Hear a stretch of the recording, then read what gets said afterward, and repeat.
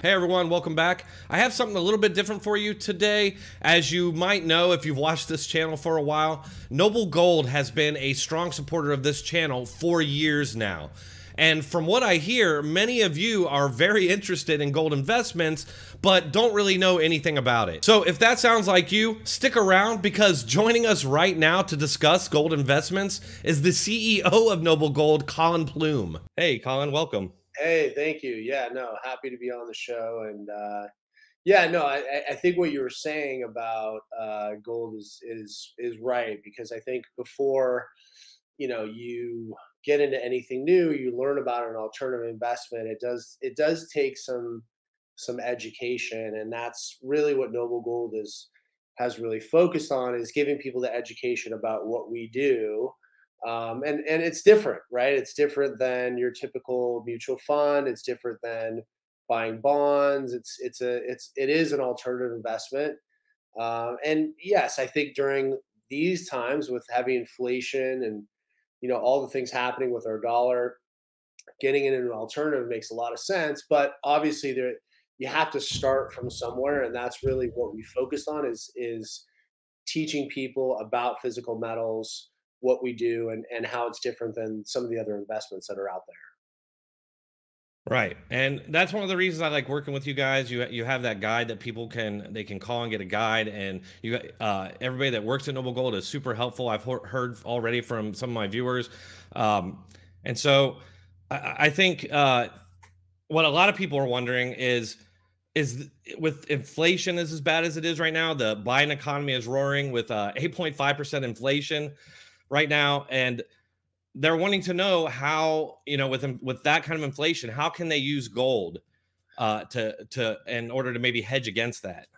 Yeah, and, and I think you know most people would argue inflation is probably higher than eight and a half percent. Um, you know, because they do they do take out a lot of things that we buy day to day into those inflation numbers and you know, I, I I said it, you know, for years when they kind of had inflation at two percent, that it was always much higher than the two percent number um, that they always reported. But you know, I, I think what what people are looking at today is is is what's happening in the market, what's happening with dollar, and and why gold could be a good fit for the portfolio. Um, now, most investments, including gold and silver this year, have had a rough year. Stock market's had a rough year gold and silver have had a rough year because the dollar has gotten really strong. I mean, it's it's unusually strong. Um, even the pound um, has recently just been just completely crushed uh, by what we're doing here with the dollar. So it, I know the Fed, what their attempt is, is to slow down inflation, um, but it's made our dollar very strong. It's made our goods overseas very expensive, and there's a ripple effect to that too. So uh, a lot of people wondering how long this this uh, heavy uh, Fed is going to continue to push rates up, um, and and it's affecting a lot of markets. You have, you know, obviously the home uh, market is having is down. You know, it's it's going to continue to be down because you know mortgages are at a rate that are are a rate we haven't seen in in you know probably close to 20 25 years. Home mortgages are in the six and a half percent range so the amount you can borrow has really re- had a big reduction. So home prices are going to have have some big pullbacks. So you're really the whole economy economy right now is in a place we haven't seen in a long time. I mean, I think most people don't even remember seeing uh, interest rates this high. So it, it's a good time to look at some different options, look at some hedges, uh, and see if maybe there's something different you can do. Which is a big part of what we do. Is people you know that want to get away from the stock market or want to diversify um, can put some of their assets in. in uh, we do physical gold, silver, platinum, palladium, and and you know I'm glad I'm here to sort of explain because some of the people, well, what am I buying? Am I buying a stock? Do, do I hold? Does Noble Gold hold your gold or silver? And we don't. We don't. We're not a stock. We're not leveraged. You're actually buying the physical asset, which is great because you know the the ownership everything is yours and you never have to worry about anything happening with you know any company out there because you're actually physically buying the asset and and you know uh, ryan there's so few assets out there that you actually own by yourself right yeah. you buy a stock or a mutual fund or you buy pretty much any investment out there, you're just buying a share of something or a part of something. Uh, mm-hmm. But gold and silver is actually something you can own by yourself, control it by yourself, and I think that gives people a lot of comfort uh, that they actually have an asset that's actually theirs. Right, and you you kind of touched on this, but what kind of gold do you guys sell? Because I know there's yeah. lots of different. Yeah, so so there's you know there's thousands and thousands and thousands of coins. Um, and there's you know coins that are rare coins that have you know been around for thousands of years. And actually, an interesting story: there was the the most expensive coin ever sold about two months ago. Um, it's a 1933 gold eagle, um, and basically what happened was quickly um, they stopped allowing gold to be used day to day, and so the U.S. Mint was still minting these twenty dollar gold coins so they said, put these gold coins back in the vault and we'll melt them down later. And what happened was a number of these coins got stolen. And hmm. actually, the Secret Service was I don't know if you've ever heard of this, but the Secret Service was actually looking for those coins from 1933 until they hit auction about 10, 11 years ago. And they hit auction in Europe. And basically, the coin, this specific gold eagle coin, originally sold for, I think, five or six million dollars and the U.S. government sued and basically said that coin is our coin. We it was stolen from us, hmm. um, and and so they went to court over this. Really interesting story. They ended up winning, but they but the buyer basically won too. And then they said, well, the buyer it wasn't the buyer's fault, so they had to split the value of the coin. They resold it again for eight million dollars. So they sold it, made a few million more.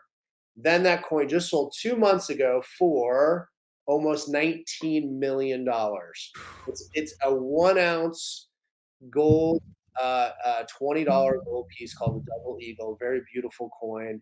Uh, so it's the most expensive coin that's ever sold at auction at almost $19 million. So, you know, there are those coins out there. What we do is we kind of push away all the noise for our investors and really get them into things that have the most bang for their buck, which is which is bullion coins and bars. That's where you're going to get the most value there are a lot of these coins. And and listen, for this investor, you know, that bought it at eight million and flipped it for 19 million, they did great. But for the the regular American that's not watching this market, you know, we get them into the physical bullion coins and bars. Uh, we source them from all over the world, but we get the highest weight and the highest purity.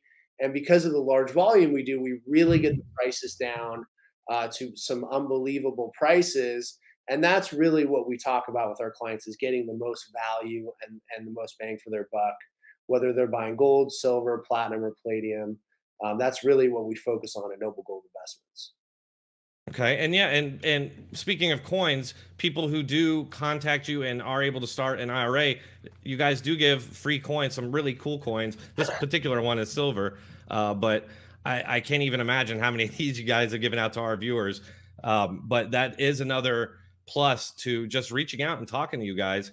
Um, yeah, absolutely. We always give away a, a, free coin every month, whether it's uh, the three ounce. That's a, an American Virtue coin that they only made. They made less than two thousand of those coins, and we bought all of them. So those coins are exclusive uh, to people that invest with Noble Gold Investments. But we, you know, we change. We have different promotions going on. Sometimes it's a one tenth ounce gold American Eagle, depending yeah. on the month. Uh, but ultimately, what we really focus on is the education and also being with the, the client for the life of, of their IRA. So, what, what a lot of people are finding now with financial firms, unless you got $250,000 or more, they don't even want your account. Some of the big firms, they you have a 401k, you know, old 401k with 40,000, they're not even interested in you anymore. We we hmm. don't uh, discriminate with any dollar amount. Uh, we we get people in. You know, obviously we we we help people that need education on this stuff. But the nice thing about us is once you buy gold and silver, you're a client for life, and we're here to answer questions for you about what happens or you know let's say you do an ira two years ago and you call us back and you have a question we're here to, to answer those questions and um, so that's a really big important part of the process and and i think what you said about you know clients or people that have been referred by the show you know, customer service is is paramount. Uh, go look at our reviews online, check out our company. But that's really whether we sell gold or silver or anything. But the most important thing is our clients are happy, and we really focus on that. Uh, day to day is making sure the client satisfaction is is top notch, and that's and that's really important to me as the owner of the company. And that's I, I, I wouldn't just work with any sponsor. I looked into you guys and I did see that uh, you're ranked number one and, and a couple different um, uh, uh, publications, and I thought that was awesome. And you guys uh, are very helpful. Uh, you were more than willing to come on and talk to me about all this, which I really appreciate. And I think that my viewers will see that and realize that, hey, these are some people that can really help me. Uh, and in that regard, as far as like tax advantages uh, mm. for clients that they could expect uh, with a Roth as opposed to like a traditional IRA. Yeah. So, um, a, a, Roth IRA means that when you put the money in the in that year, you don't get the tax advantage that you would get with a traditional IRA. So, for instance, I'm just going to use, let's say you make fifty thousand dollars a year. If you do a traditional IRA, and you let's say you put five thousand dollars in your IRA, your taxable income goes from fifty thousand to forty five thousand in a traditional IRA, if that makes sense. Mm-hmm. Um, and then you get that tax advantage that year, right?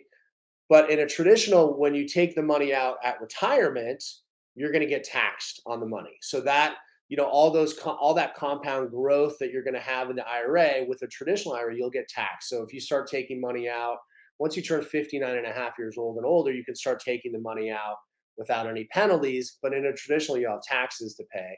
In a Roth, if you put 5,000 in, you don't get the tax advantage that year. But when it grows down down the ride and, and, and you're in 59 and a half, you want to start taking it out, you don't pay any taxes on the growth. So it really just depends what your philosophy is. You know, most people do have a traditional, but if you if you have an option and you're starting out, uh, I think the Roth, in my opinion, is probably a better option because I think most people believe taxes will be higher, you know, later on down the road. So right. yeah, almost guaranteed. Yeah, and that's something that people can call and talk to your experts about yeah, um, I mean, we're not tax and, advisors. I'm just giving you, a, you know, kind of a high level uh, overview of how that works. Uh, but that's in essence how a traditional and and a Roth are, are are sort of set up. And then, you know, the other way, you know, people can just buy from us directly. They can just buy and get the gold and silver directly delivered to their house. Uh, we ship it out in a nondescript package. We call you with the tracking numbers to make sure it gets there, and we have a full team that's doing that it's one of the unique things about us is that we really make sure that when the package goes out, we call, we follow up with you, and we make sure that you get that gold and silver in your hands. Obviously, everything is insured, but we really make sure that we get it all the way to you. And you know, it's important. You know, some of these packages are obviously very valuable. Um, yeah. and, and, no one around you is going to know. Your neighbors aren't going to know. They're not going to know what it is in the package. Um, but we really make sure that the metals get all the way to your door, to your doorstep safely. Yeah, and one of the great things about gold is it's tangible. Like you said earlier, it's, it's something that you can physically hold and have. And uh, they say that gold will always be, uh, you know, a currency that's used. You're all it's always going to be worth something. It's been around for around five thousand years. And yep. so why has why has that always been the case? Why has it always been? Is it just because it's shiny? no, that's funny. I mean, listen, it doesn't hurt. I mean, like obviously the jewelry part of the gold is is a big part of it, but you know, industrial uses now have really gone up. There's more than just jewelry. Um, they're using it in, in, computers. The gold plating industry has really gone up. Um, they use gold plating in your cars, your electric vehicles. There's also silver in electric vehicles and the batteries. Um, so, you know, gold's industrial uses have really expanded computers. I mean, I could go on and on, um, the heart monitors. But to go to your initial question is why has it been a currency? It's always been a currency because it's so easy to understand. You can test gold and you know the value of it. And in terms of a tradable or fungible item, it's much better than a lot of other things that are out there. You know, people used to trade with cattle. You know, they'd make a deal, and then you know the person receiving the cattle would take the cattle back, and three of the cattle were sick and they would die. Right? I mean, there's there's all these things that can happen with these you know these other items so the nice thing about gold is we know it's sort of an equitable transaction, and that's why it's been used for a long time. And an ounce of gold here is worth what an ounce of gold would be worth anywhere in the world.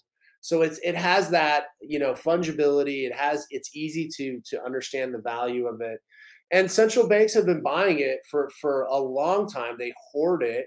Um, they're buying a tremendous amount of it right now. And it's a great item for a lot of people say like what is going to hold the price of gold for long term? And i believe because central banks can use it to leverage and it's now in the us it's actually considered a tier one asset.